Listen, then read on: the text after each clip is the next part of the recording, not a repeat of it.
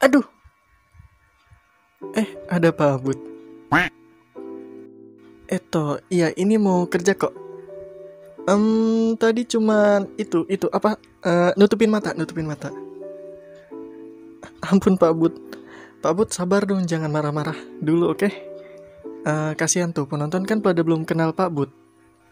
Eh, Summer mau kenalin dulu. Jadi jangan marah-marah, oke? Oke guys, ini Pak Bud. Ya, dia pemilik saham di Webfog ID yang paling gede. Mungkin. Anggap aja bos abal-abal. Enggak kok, enggak kok. Cuman bercanda.